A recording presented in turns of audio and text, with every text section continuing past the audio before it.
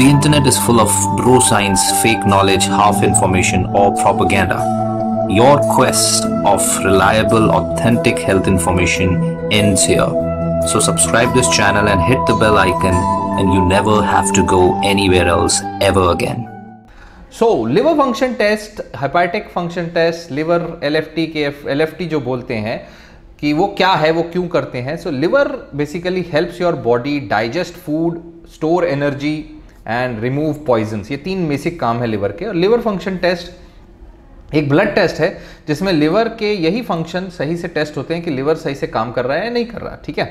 They check for liver damage हम liver damage check कर सक, करते हैं और डायग्नोस करते हैं ऐसी बीमारियाँ लिवर के अंदर, जैसे कि हेपेटाइटिस जैसे कि सिरोसिस ऐसी डायग्नोस होती हैं और यहाँ तक कि उनका जो प्रोग्रेस है वो भी एसेस होता है कि वो कितने अच्छे से प्रोग्रेस कर रही हैं, ठीक हो रही हैं, नहीं हो रही हैं राइट रेगुलर चेकअप के पार्ट होना चाहिए आपके लिवर फ़ंक्शन टेस्ट और आपको अगर लिवर डिज़ीज़ है तो आपके सिम्टम्स असेसमेंट में भी बहुत ज़रूरी होता है। सिम्टम्स कम हो रहे हैं लिवर फ़ंक्शन कैसा है, नहीं है। प्रिडिक्शन से बहुत काम आता है। राइट right, मॉनिटर करने में काम आता है लिवर डिजीजेस को ट्रीटमेंट में और इवन साइड इफेक्ट्स कई दवाओं दे दवाओं के साइड इफेक्ट्स देखने के लिए काम आता है कि लिवर के ऊपर साइड इफ़ेक्ट तो नहीं हो रहा अगर आप क्रोनिक पेन किलर ले रहे हैं तो लिवर फ़ंक्शन टेस्ट बहुत ज़रूरी टेस्ट है इसके बारे में जानना सबको आवश्यक है और लिवर फ़ंक्शन टेस्ट कोई एक पर्टिकुलर चीज़ का ब्लड टेस्ट नहीं है इसमें बहुत सारे टेस्ट हैं राइट right? इसमें आपके लिवर के अंदर प्रोटीन्स एंजाइम सब्सटेंसेज ये सब टेस्ट होते हैं प्रोटीन जैसे कि अल्ब्यूमिन टेस्ट होता है टोटल प्रोटीन टेस्ट होता है albumin globulin albumin globulin ratio test होता है।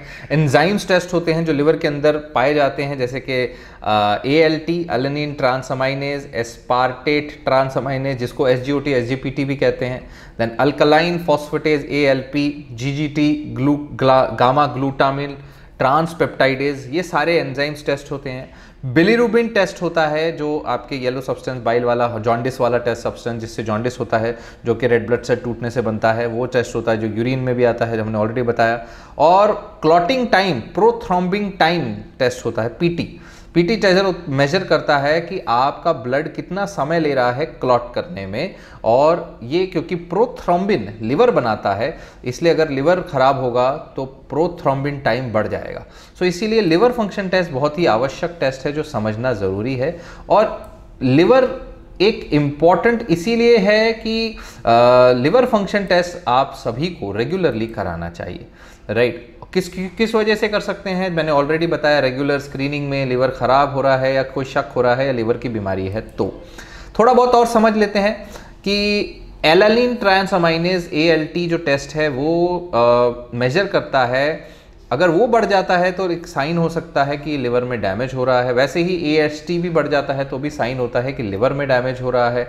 ए अल्कलाइन फॉस्फेटेज लिवर की बीमारी और बाइल डक्ट की डैमेज की वजह से भी हो सकता है। बोन डैमेज की वजह से भी ए बढ़ सकता है। जीजीटी जो बढ़ता है, वो भी लिवर या बाइल डक्ट के डैमेज की वजह से बढ़ सकता है। जीजीटी अपने आप में अगर बढ़ा हुआ होता है तो आपके अंदर एंटीऑक्सीडेंट लोड बहुत कम हो सकता है, कि एंटीऑक्सीडेंट भी बहुत कम है। लिवर के प्रोटीन से पता चलता है, बॉडी में कितना प्रोटीन जमा हो रहा है, अल्ब्यूमिन, ग्लोबिलिन और उसका रेशियो। अगर अल्ब्यूमिन अगर ग्लोबुलिन जो है वो लिवर बनाता है और वो इम्यून सिस्टम को हेल्प करता है इन्फेक्शन को फाइट करने के लिए तो अगर आपके ग्लोबुलिन लेवल कम होगा, लो ग्लोबुलिन लेवल लिवर के डैमेज में और बहुत सारी अलग बीमारियों में भी हो सकता है और इम्यून सिस्टम लो है, ये बताएगा।